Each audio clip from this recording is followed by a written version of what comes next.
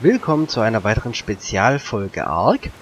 Und zwar habe ich ja in Folge 47 gesagt, wenn wir mindestens 15 Likes bekommen, dann zeige ich, wie man äh, eigene Bilder, die man zum Beispiel in GIMP, in Photoshop oder von mir aus auch in Paint äh, erstellt hat, ähm, in ARK importieren kann. Und wie man sie dann auf, ein, äh, äh, auf eine Flagge bekommt, auf ein Metal Sign oder was auch immer.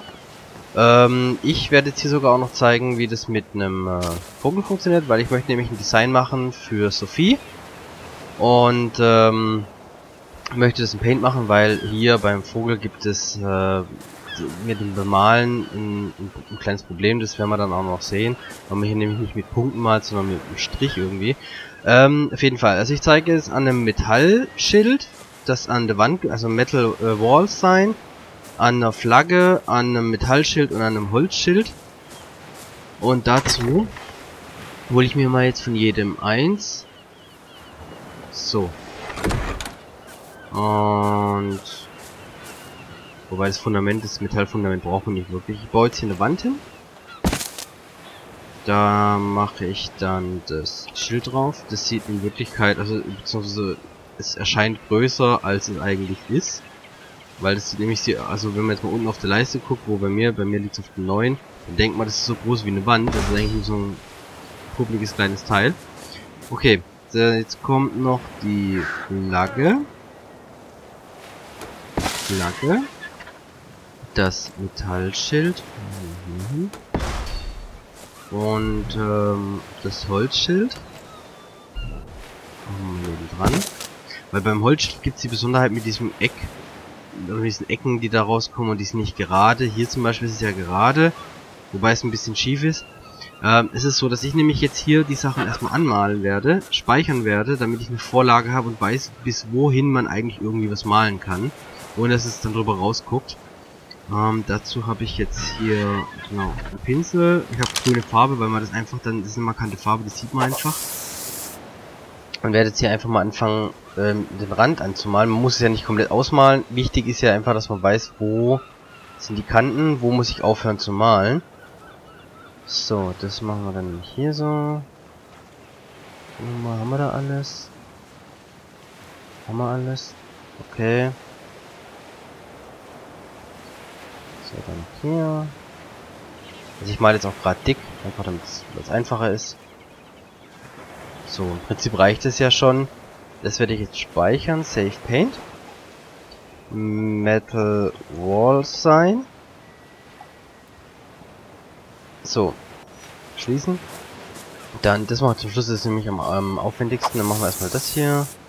Dann machen wir jetzt auch mal hier auch das Ding hier mit. Dann kann man das eventuell auch mal bemalen. Muss mal gucken, wie es mit dem Bild aussieht. Die Farbe ist aus. Neue Farbe drauf. So. Dann hier die untere Kante. Die und die obere. Jetzt nochmal genau nachfahren.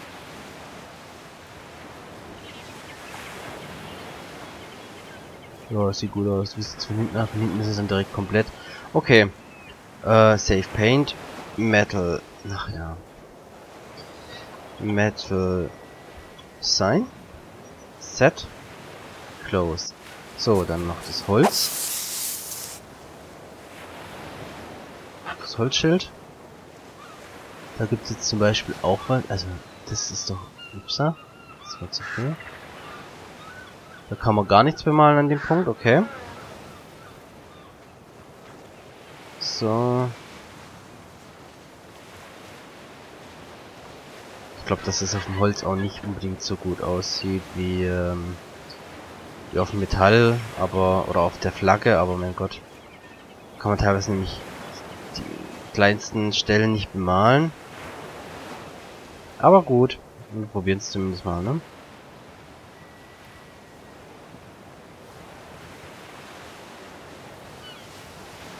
Deswegen mache ich hier einfach mal ein bisschen mehr. So, nämlich auch hier die. So, jetzt ist eh die Farbe aus. Ähm.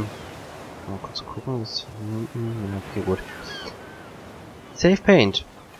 Wooden Sign. Ach, Mensch. Wooden Sign. Set. Close. So, und jetzt noch die, ähm, die Flagge. So.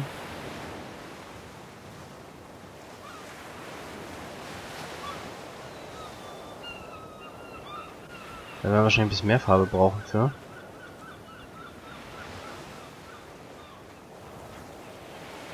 So.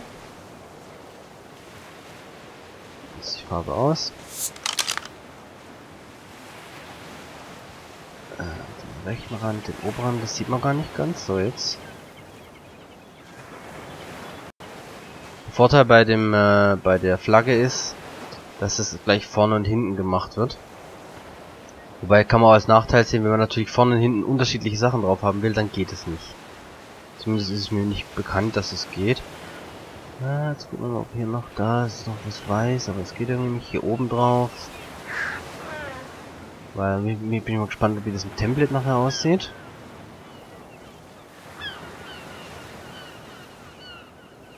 So.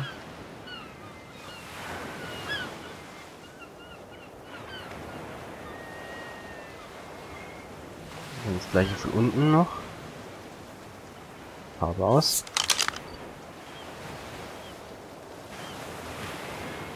So. Wenn man zum Beispiel das ähm, nicht als weißen Hintergrund haben möchte, sondern als anderen, dann ist es glaube dann wäre das jetzt relativ wichtig. Sonst hätte man nachher unten noch einen weißen Hintergrund, wobei man sieht jetzt hier schon, dass man das Weiß wohl nicht ganz wegbekommt. so, komm. Zack, zack, zack. Und... Boom. So. Okay. Save Paint. Äh, Flag. Ach. Flag Set. Close. Ähm, jetzt haben wir das, das, das. Da lade ich, also beim Vogel lade ich gleich ein äh, Template von äh, dem, von einem der Programme, das dabei ist. Einfach, äh, weil den ganzen Vogel anzumalen, da, da sieht man schnell was, also da kann man unterm, unterm Flügel was übersehen oder keine Ahnung. Ähm, deswegen, ähm, ich gehe jetzt erstmal ins Windows, ich kann leider nicht direkt ins Windows, wegen Aufnahmeprogramm. Ähm, deswegen machen wir jetzt hier kurz, kurz einen Schnitt und wir sehen uns gleich in Windows. Bis gleich. So, da sind wir jetzt im Windows. Ähm, ich habe jetzt hier mal die Links aufgemacht, die in der Videobeschreibung drinstehen. Das müsste der erste, das erste Tool sein, was drinsteht. Das müsste das zweite Tool sein, was drinsteht. Beim ersten Tool hätte ich eigentlich auch einen anderen Link reinnehmen können. Und zwar ist so, dass man hier erstmal zu diesem Guide klicken muss. So, dann eigentlich nochmal hier draufklicken. So, und hier hat man jetzt die Möglichkeit, äh, das Programm runterzuladen. Das einfach speichern auf der Festplatte. Ich habe das schon gemacht. Hier ist es. Deswegen werde ich das jetzt nicht nochmal runterladen. Äh, bei dem zweiten Tool kann man sich das von der Dropbox runterladen. Da braucht man sich auch nicht registrieren, auch wenn es erstmal so aussieht. Also man könnte jetzt hier nur den Converter runterladen und alles andere nochmal irgendwie extra, aber wir sagen einfach hier herunterladen als ZIP. Dann äh, kann ich brauche hier nicht aus, nichts ausfüllen. Ich kann hier einfach auf Nein Danke weiter zum Download. Dann äh, genauso speichern habe ich auch schon gemacht. Hier der A-Converter ist schon da. Und ähm, man hat die Sachen. So. Dann ähm, gibt es hier die, die ZIP-Dateien, die entpackt man einfach. Ich benutze WinRAR zum Beispiel. Könnt benutzen, was ihr wollt. Äh, euren Lieblingsentpacker. Das entpacke ich jetzt beides mal, jedes jeweils in den Ordner, wie, die, wie das ZIP-Datei selber heißt. So, und jetzt ähm, äh, findet ihr die Paintings generell in Arc im Steam-Ordner, Steam Apps, kommen. Dann findet ihr alle eure Spiele, in dem Fall dann Arc, Shooter Game, Saved My Paintings. Da haben wir jetzt einmal die Flagge, die wir angelegt haben, das Metall sein, Metal sein und Wooden sein. So, die kopiere ich jetzt mal hier rein. Jetzt ähm, lade ich, jetzt wollen wir ja aus diesen ähm, aus diesen PNT-Dateien wollen wir jetzt ein Bild haben, was wir dann in Photoshop, GIMP oder wie auch immer bearbeiten können. Äh, deswegen nehme ich jetzt hier einfach mal den Arc PNT Editor, weil der einfach ein paar mehr Optionen hat. Also ich zeige jetzt mal noch das andere Programm. Das hat halt jetzt nicht, also es hat so zwar auch schon ein paar Einstellungen, aber ich kann jetzt hier zum Beispiel, glaube ich, nur Bilder öffnen und kann die in, PN, in, in äh, äh, diese PNT umwandeln, aber nicht PNT in Bilder. Von daher ähm, finde ich den anderen einfach besser. Load Arc PNT File. So, jetzt habe ich hier die Flagge. Jetzt kann man sich aussuchen, wie man es hier angezeigt haben will. 1 zu 2, dass einfach die Vorschau besser ist. Im Prinzip speichert es aber immer in, ähm, in einem Quadrat. Also ich sage jetzt hier einfach mal Save as Image. Dann ich lasse die einfach gleich benannt, nur mit dem äh, mit der Dateiendung PNG. So speichern. Ach halt falsch. Dann lade ich jetzt noch die anderen. Das Metal Sign. Das wäre jetzt in dem Fall wahrscheinlich die. Die ist hier besser. Die, also die Ansicht hier. Zwar auch nicht ganz eins zu eins, aber ist schon mal Breitformat. Save as Image. Speichern. Dann Metal Wall Sign. Ähm, Save as Image. Speichern. Und noch das letzte, das ist nämlich das ganz Interessante, weil hier sieht man nämlich jetzt, wo man eigentlich überall, überall malen kann, was dann auch wirklich dargestellt wird. Äh, Save as Image. Deswegen werden wir das jetzt auch mal verwenden als Beispiel, wo ich äh, was reinmale, beziehungsweise ein Bild einfügen werde. So, jetzt haben wir die als, als Image. Ähm, jetzt ähm, öffne ich mal das Wooden, äh, das Wooden Sign in Photoshop. Öffnen mit Photoshop.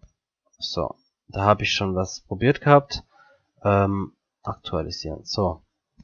Und zwar ähm, sieht man jetzt natürlich, das ist wie gesagt, wie gesagt ein Quadrat und auch nicht unbedingt groß. Man hat hier gerade mal eine Auflösung von 128 x 128 äh, Bildgröße. Und deswegen, ich mache jetzt einfach hier 200% raus, dass ich zumindest es vom Format her richtig habe. Es ist dann zwar nicht ganz, weil ich glaube, es müsste ein bisschen kürzer sein, ungefähr bis hierhin, also bis hier. Ähm, auf jeden Fall lade ich jetzt erstmal hier, habe ich schon vorbereitet, das Küken. Ich äh, werde jetzt aber hier noch, weil man es nachher eh nicht erkennt, noch, ähm, ich sehe nämlich gerade, dass man hier noch was hat. Das muss weg. Und dann tue ich das hier noch weg. Das erkennt man den leider nachher eh nicht mehr. So. Steuerung C. Das tue ich jetzt, das packe ich jetzt hier rein. Ist natürlich viel zu groß, weil die Vorlage sehr klein ist. Deswegen mache ich das jetzt einfach mal ein bisschen kleiner. So, dann drehe ich das noch. Einfach damit es drauf passt. Äh, kann natürlich auch ein komplett anderes Bild nehmen, aber so. Und wie gesagt, dadurch, dass die äh, Proportionen nicht richtig sind, ziehe ich es jetzt noch ein bisschen in die Länge. Nicht ganz so viel, weil es doch relativ dran, nah dran kommt. So, das äh, lasse ich jetzt so. Äh, die Ebene blende ich aus, weil ich will ja das Grün nicht mehr in, auf dem Schild haben. Und ähm, was ich jetzt noch machen kann, ist, ich kann jetzt noch die Farben reduzieren auf die Farben, die es in ARC auch wirklich gibt. Bild, äh, Modus, indizierte Farben. Äh, ja. Ja, genau, okay, so. Äh, er macht mir jetzt natürlich automatisch den Hintergrund in der entsprechenden Farbe, aber das können wir gleich wieder rausmachen. Ähm, so, hier kann man Benutzer definiert, hier kann man nämlich eine äh, Palette laden von äh, dem PNT-Editor. Arc, dieser Arc PNT-Editor. Der bringt eine Palette mit, sowohl für GIMP als auch für Photoshop. Mit GIMP kenne ich mich leider nicht aus, deswegen mache ich Photoshop. Ist eine ACO-Palette. Die habe ich hier schon geladen gehabt. Ähm, dann reduziert er das auf diese Farben. Mit, mit dem Dither muss man ein bisschen rumspielen. Also bei 100% finde ich es zu grisselig. 50 geht noch so. Muss man gucken. 35. 10. Das wird halt schon zu krass. Da ist der Schatten, finde ich, ein bisschen zu krass. Ja, wobei, Nee, ich mach mal, ich lass mal 35. So, 35, lassen wir mal. So, das ist okay. Jetzt äh, nehme ich das Ganze, mache ein neues, neues, der nimmt mir automatisch, ne Quatsch, ich mache jetzt erstmal die Bildgröße wieder richtig. Bildgröße, mache hier wieder auf 128. Dann wird es jetzt halt wieder gestreckt oder beziehungsweise gestaucht. Nimm das, mache eine neue Datei. Fügt es da ein, damit ich nämlich den Hintergrund wegkriege.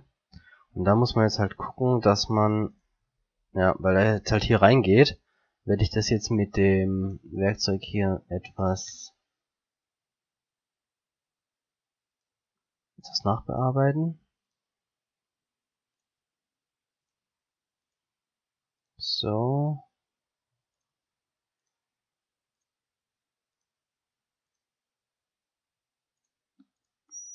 So. Und dann hier wieder abschließen. So. So sieht's doch ganz gut aus. Ähm, und dann mache ich jetzt hier einfach entfernen. So, und das speichere ich jetzt für Web und Geräte als PNG speichern und das nenne ich jetzt Urdenwall Sign Gar, weil hier gibt es auf jeden Fall eine Begrenzung, ich weiß nicht wie viel, aber ich mache jetzt einfach mal nur Gar. Speichern. So, dann haben wir hier schon mal die Vorlage als PNG. Jetzt öffne ich wieder den Arc PNT Editor, sag Load Arc PNT. Man muss immer vorher erst die PNT laden, und da, um dann das Bild reinladen zu können. Wooden Wall Sign, Load Image, das wollen wir drauf haben. Nein, wir haben schon die Farben reduziert. So, so sieht es dann aus. Save as Arc PNT File, Wooden Wall Sign, gar, speichern. Es bin saved. Ne, wir brauchen keine Vorschau. So, jetzt können wir es dazu machen. Wieder hier hingehen. Jetzt haben wir hier unser PNT-File. Das kopiere ich jetzt einfach hier mit in den Ordner rein, My Paintings. Der Arc PNT Editor bietet auch noch Templates für verschiedene, also hier hätte man theoretisch auch ein Template rausholen können, aber ich wollte nur euch zeigen, wie ihr das machen könnt, falls ihr hier keins findet. Die Dinos, Argentavis zum Beispiel, das kopiere ich jetzt mir einfach raus und tue es hier rein. Weil da habe ich nämlich was vor wegen den Augen. Ähm, der R-Converter bietet, glaube ich, auch die Templates. Und zwar bietet er einmal die Templates als PNG auch schon direkt. Und hier wohl nochmal äh, die Templates als, äh, als PNT auch. Also von daher, von den Templates her sind sie beide ganz gut ausgestattet. Ähm, fürs Konvertieren finde ich aber diesen, diesen äh, PNT-Editor ein bisschen besser. So, jetzt haben wir die Sachen gemacht. Äh, ich habe es mal mit dem Wooden Wall Sign als äh, mit dem Wooden Sign als Beispiel gemacht und dann sehen wir uns gleich in Arc wieder, wo ich das äh, mal drauf mal und mit dem äh, äh mit dem Argentavis noch äh, was in diese Vorlage reinmache, damit ihr seht, was ich meine wegen dem Malen und den Augen. Bis gleich. So, das sind wir auch schon wieder. Ich hole mir jetzt mal von jeder Farbe etwas, weil wir werden viele Farben brauchen dafür, um das zu malen. So, ich hole mir mal von jedem 10. Ach, wisst ihr was? Komm. Zack, zack, zack, zack, zack, zack, zack, zack, zack, zack, zack. Wir haben's doch. Zack, zack, zack, zack, zack, zack, zack, zack, zack, zack. Und die hier noch natürlich. So. Und jetzt, jetzt bin ich mal gespannt. Also ich werde jetzt erstmal das löschen hier, wobei die Proportionen hätten sogar fast gepasst, so es aussieht. So, na? So, Erase. Load Paints. Wooden Wall Sign Gar. Er sagt jetzt hier, was wir brauchen. 0% auf Pink, weil na, die Zunge ist pink ein bisschen und man braucht wahrscheinlich 0,05 oder 0,4 oder sowas, dann wird abgerundet. Egal, leider wird da eins verbraucht, wir haben aber genug. Es fehlt nichts, also gib ihm. Äh, ja, okay. Also das Bild ist definitiv nicht für ein Holzschild äh, gemacht. Okay. Naja, ähm, ihr wisst auf jeden Fall, wie es geht. Die Proportionen, ich hätte gar nicht so lang ziehen müssen. Ich glaube, die Proportionen waren doch schon ganz in Ordnung. Sogar. Ähm, wir können mal gucken, was passiert, wenn ich das jetzt hier drauf mache. Weg. Ach so, das, äh, dafür habe ich das nicht mehr. Ja, okay, Metall sein. Okay. Hätte man eigentlich auch gleich machen können. Naja, egal. Ähm, so. Das gleiche gilt natürlich für hier und für hier. Aber, ähm, ihr seht, dass das 2 zu 1. 1. Doch, es könnte sogar passen, ne? 2, ja, wobei.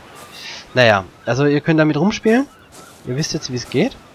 Und äh, ich zeige euch jetzt noch, was ich meine. Und zwar nämlich, wenn ich jetzt hier hingehe und sage Load Paints, Argentavis, der braucht viermal weiß. Select haben wir aber da. So, so, so, so. So. Ähm, jetzt kann ich direkt hier weitermalen.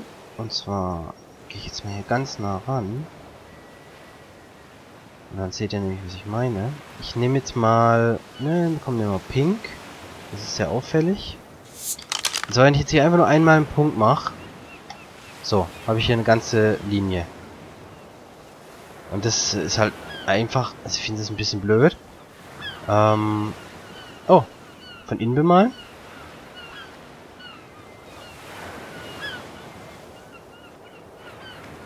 So. Äh, so ein bisschen weg, so. Genauso machen wir es noch hier. So.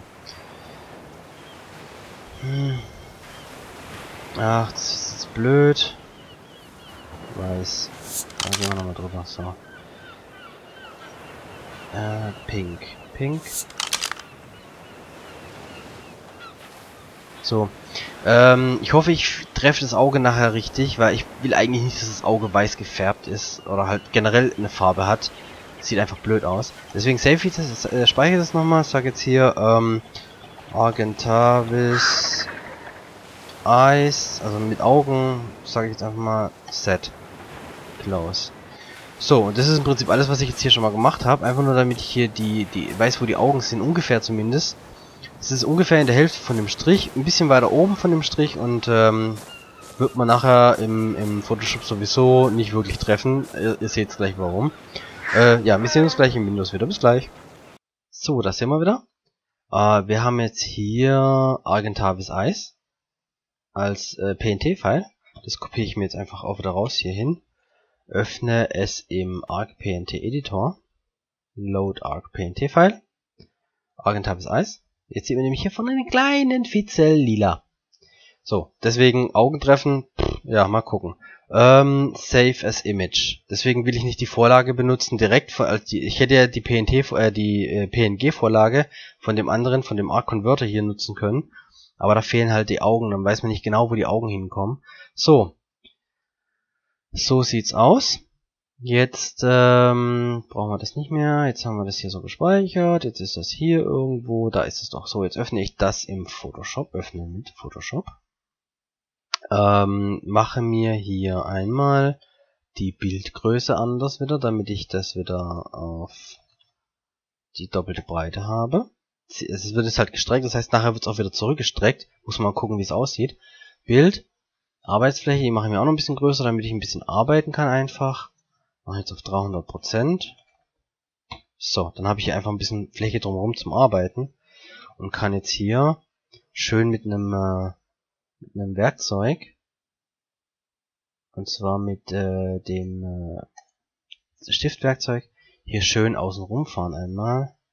So, so, so, so, so, so, so, so, so, so, so, so. Um mir dann hier schön Muster zu machen.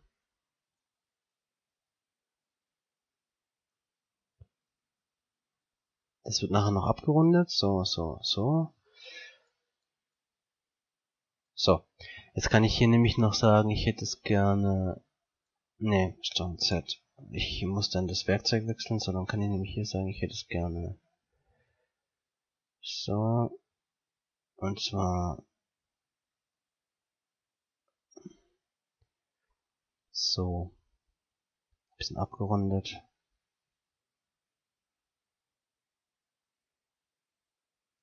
Muss ein bisschen rausziehen noch. Das machen wir dann nachher wieder mit dem Werkzeug hier.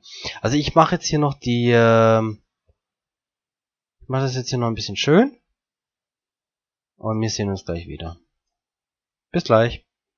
So, jetzt habe ich das einigermaßen hinbekommen, glaube ich. Ich meine, da könnte man vielleicht noch ein bisschen nach rausschieben. So, und dann hier entsprechend noch ein bisschen rausschieben. So, den hier vielleicht noch ein ganz klein bisschen rausschieben. So. Ja, äh, machen, wir lieber, machen wir es lieber ein bisschen größer als zu klein. Nachher sind da noch weiße Spitzen dran. So, äh, wir können aber auch nicht die Auswahl ändern. Also was, was wir jetzt noch machen ist, ähm, mit dem Werkzeug machen wir daraus jetzt eine Auswahl. Auswahl erstellen. Ähm, okay, und machen dann noch eine neue Ebene. Jetzt haben wir mal Auswahl, Auswahl erweitern. So, verändern. Auswahl speichern erstmal. Erstmal Auswahl speichern. Auswahl speichern ist immer gut. Äh, kann, äh, äh, äh. Äh, bin ich jetzt, ah da, Auswahl speichern. Die heißt jetzt, ähm, ähm, Argentavis. Okay. So, dann können wir nämlich jetzt die Auswahl verändern. Auswahl, Auswahl verändern, erweitern. Machen wir mal 5 Pixel. So. Dann können wir nämlich jetzt anfangen. Und zwar möchte ich gern von Rot nach Gelb. Das heißt, ich lade jetzt hier erstmal, ähm, ich ersetze das Farbfelder und zwar lade ich hier auch wieder diese, diese äh, Palette. So, dann habe ich nur noch die Felder, die ich wirklich auch hier habe. Und jetzt kann ich anfangen. Jetzt kann ich nämlich sagen, ich hätte gerne die hier. Und sag jetzt, dass ich die fülle, also bearbeiten, Fläche füllen, ist mit Shift und F5. Geht aber auch mit Alt und Rücklöschtaste. So. Da mache ich die mal auf 30%, damit ich noch drunter sehe. Äh, so, jetzt ändere ich die Auswahl, mache so ein bisschen nach oben, mache nochmal eine neue Ebene. Mache jetzt hier nochmal ähm, 30% Deckkraft. Achso, Moment. Jetzt nehme ich hier die hier, weil die müsste eigentlich heller sein. Mach das mal noch so. Jetzt schiebe ich die einfach runter, die nach oben und schiebe die hoch, so. Jetzt mache ich nur die Auswahl. Jetzt mache ich eine neue Ebene, schiebe nur die Auswahl nach oben um 10 Pixel. Also mit Shift-Taste und Pfeiltasten kann man die um 10 Pixel verschieben über die Auswahl. Ähm, so, jetzt genau, jetzt haben wir die Farbe, haben wir die Farbe. Als nächstes würde meiner Meinung nach die Farbe hier kommen. Machen wir hier auch wieder 30% Deckkraft. Fläche füllen. Neue Ebene, nach oben schieben, Ebene, Deckkraft ändern. Dann würde jetzt kommen die hier meiner Meinung nach. So. Neue Ebene, Auswahl nach oben, Deckkraft ändern. Dann käme das hier, sieht zwar nach rot aus, ist aber orange. Steht da eigentlich die richtigen? Cantaloupe, oh cool. So, orange. Fläche füllen, neue Ebene, nach oben. 30% Deckkraft. Dann kommt rot, pink lassen wir mal außen vor. So, dann neue Ebene. Deckkraft ändern. Auswahl nach oben. Und dann käme eigentlich schon die, das ganz dunkle Rot. So. Ähm, was man jetzt natürlich sieht, ist, dass ähm, man hier schön immer den gleichen Abstand hat, aber hier nach rechts immer weniger. Ähm, da müssen wir mal gleich gucken, ob wir das vielleicht noch anpassen können mit, indem man das alles ein bisschen zieht vielleicht die Auswahl verkleinern sollen. Okay. Kriegen wir aber auch noch hin. Wir haben alle Farben drin. Wir haben die Farbe drin, die Farbe müsste, wir haben genau 1, 1, 2, 3, 4, 5, 6, 7 Farben. 1, 2, 3, 4, 5, 6, 7 Farben. Okay, das passt. Jetzt muss man natürlich den halt noch anordnen und gucken, dass die auch ähm, da reinpassen. Und dass von jeder Farbe auch was zu sehen ist. Deswegen mache ich jetzt hier einfach mal so. Da müssen wir jetzt halt gucken, ob man hier nicht irgendwie noch was abschneidet.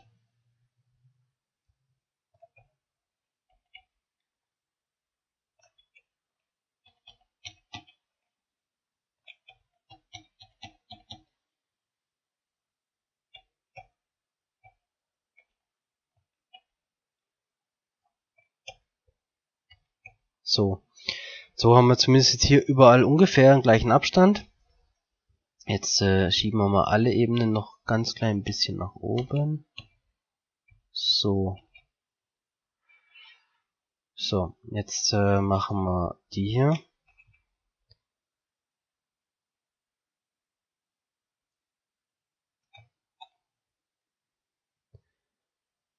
So, die Breite. Breite machen wir auf. Kann ich hier einen Pixel haben? Pixel. So, das ist super. Dann machen wir die jetzt mal, ah, machen wir die mal 40 Pixel kleiner. Ah, das jetzt gemacht? Ja, hat er gemacht. Okay. Das ist ein bisschen arg. Nee, doch, das eigentlich finde ich das so in Ordnung. So, nehmen wir die nächste. Machen wir kann man so machen. So. So. Nächste. Breite.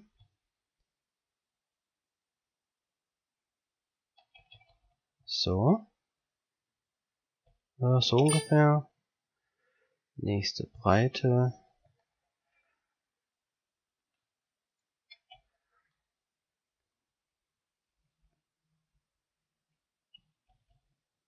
So. Nächste, nächste, die Breite, Steuerung T. Zack, kleiner.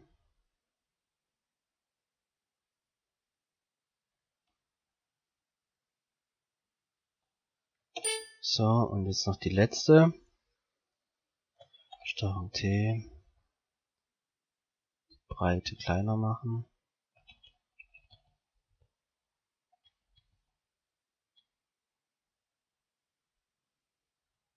So. Man sieht jetzt hier auch das hier nicht so ganz, aber egal. Jetzt können wir nämlich folgendes machen. Jetzt laden wir diese Auswahl. Kehren die um. Auswahl umkehren. Auswahl umkehren. Jetzt ist alles quasi alles au außer markiert. Jetzt markieren wir die hier und sagen einfach entfernen. Entfernen, entfernen, entfernen, entfernen, entfernen, entfernen, entfernen. So.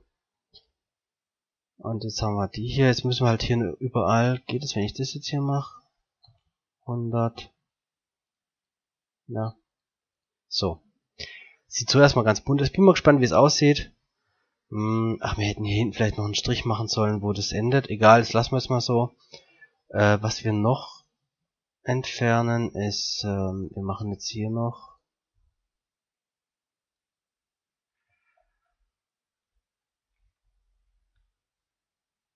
So, wir machen jetzt hier noch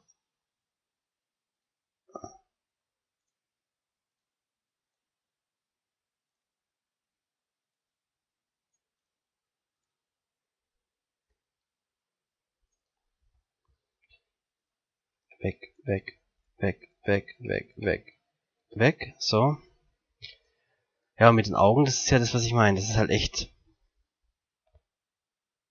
ähm, das ist halt echt blöd, weil man kriegt hier nichts. Das geht nicht. Also ich werde jetzt mal hier das erstmal wieder weiß machen.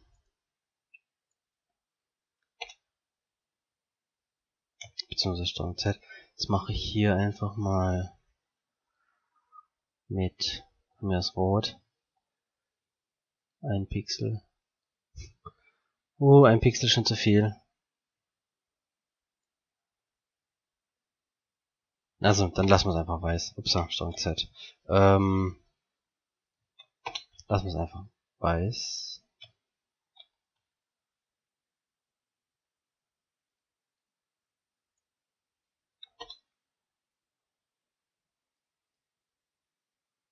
Können wir nachher drüber malen. Also von daher. Ich würde sagen, das lassen wir erstmal so. Jetzt machen wir erstmal die äh, Arbeitsfläche kleiner. Arbeitsfläche Arbeitsfläche in Pixel, das waren 256, nee, 512 auf 256. Ja, fortfahren so. Dann machen wir Bild, Bildgröße 256. Jetzt sieht's halt wieder nicht ganz so gut aus. Jetzt sagen wir Datei für Web und Geräte speichern, speichern und Genau, in diesen Ordner rein. PNG, speichern. Nein. Speichern, dann machen wir hier, ähm, Sophie Bunt. Speichern. So, jetzt haben wir das hier drin. ArcPaint Editor. Load ArcPaint File. Argentavis, von mir aus die Eyes. Load Image. Den hier. Äh, nee, will ich nicht, weil die habe ich schon.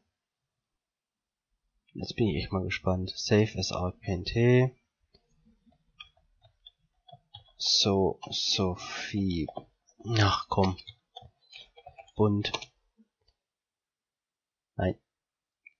Jetzt kann ich das hier rausnehmen. Ist es das? Ja. So, da rein.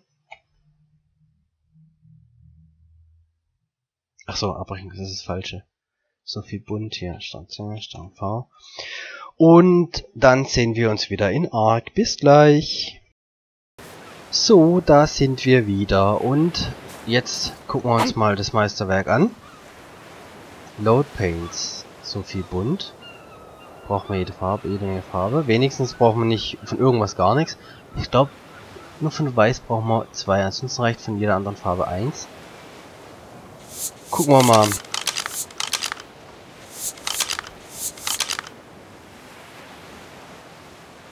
Close. Ja, das sind Striche dazwischen. Das ist natürlich... Hm. Ach Mensch. Warum? Ähm... Was ist denn da passiert? Naja, so ganz...